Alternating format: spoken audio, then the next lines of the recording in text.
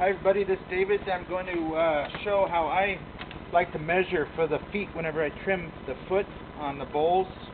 Uh, a couple of the different ways that I like to measure the thickness at the bottom is uh, what I'll do is I'll throw my form, like this form I threw this morning.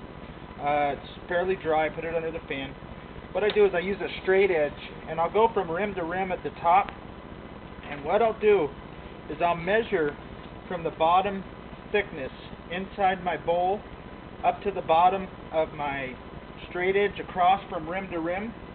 And I use a piece of cardboard. This is a piece of cardboard I just cut out of some empty boxes. What I do is I measure from the very deepest point of my bowl to the bottom of my straight edge and make a mark. So I've made a mark here straight across from my thickness up to my straight edge.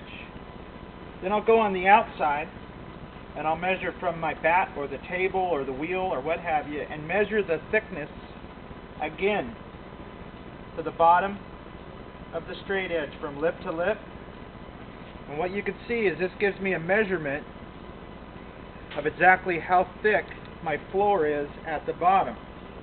So whenever I cut this off the bat or if it's already cut or what have you, what will happen is I'll trim probably about half that distance and leave about a quarter of an inch and it tells me how deep to trim my foot without going through. One other thing I'll do is I'll take and I'll and I'll measure my piece with my fingers on the inside and I can feel, feel where it's starting to get a little bit thicker right where it starts to get thicker, sometimes I'll just use my fingernail or a pin.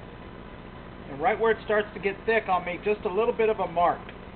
And what that'll do is whenever I turn this upside down on the wheel and start trimming the foot, it'll tell me where to start tapering my thickest part because once we get this turned upside down on the wheel head, we don't know how thick our thickness is. So if we spend a little time and study our thickness at the bottom, how thick our rim is. So I'm consistent all the way down to about somewhere in this distance, a little bit thicker. Make a little mark, cut it off the wheel head. Use this gauge when I go on the wheel. It tells me how thick my bottom is, how deep to trim. So it's a simple way of making a mark real quick, making a mark on the outside. So here's how thick my bottom is from here to here and it tells me how much to trim off without running the risk of trimming through. So a simple tip, easy to do.